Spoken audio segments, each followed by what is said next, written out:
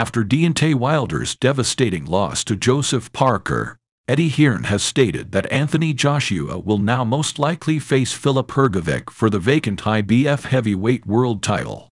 At the Day of Reckoning, the British boxer made a statement by halting the Swede at the conclusion of the fifth round in a commanding performance in Saudi Arabia.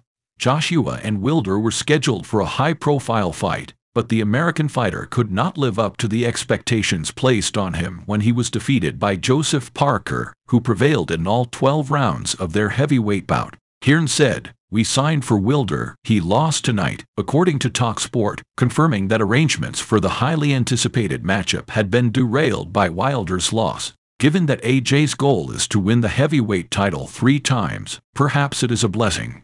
AJ and Hrgovic will face off for the World Championship.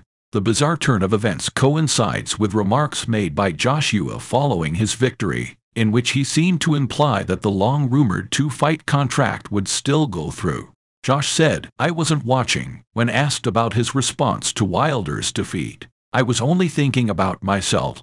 So what if Deontay lost? I heard, he'll return. I'll go for the higher ground, and I'm hoping he returns.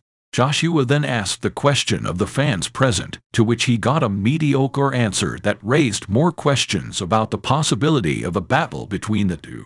Hrgovic made an appearance on the Day of Reckoning undercard and quickly eliminated Mark de Mori in Saudi Arabia, finishing the fight in a matter of minutes. The 31-year-old has a stellar 17-0 record, winning 14 of his fights by knockout. For his part, the British fighter's victory marked his third straight victory following two losses to Alexander Usyk.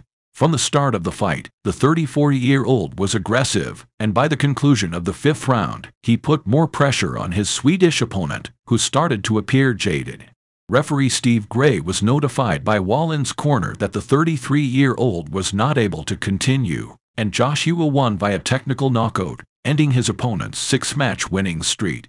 Speaking following the fight, Joshua was forced to respond to inquiries about the highly anticipated rematch with Tyson Fury. In response to the question of who he would rather face next the Gypsy King or the Croatian he declared, I'll fight Tyson Fury 100%. However, I won't be avoiding Hrgovic, I'll be fighting Fury too.